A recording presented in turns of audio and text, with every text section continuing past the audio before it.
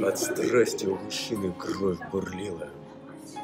И женщина с улыбкой на устах сказала, что себя бы разрешила поцеловать, но только в двух местах. О, мужики, святая простота! Он к женщине подвинулся поближе и попросил скорее назвать места.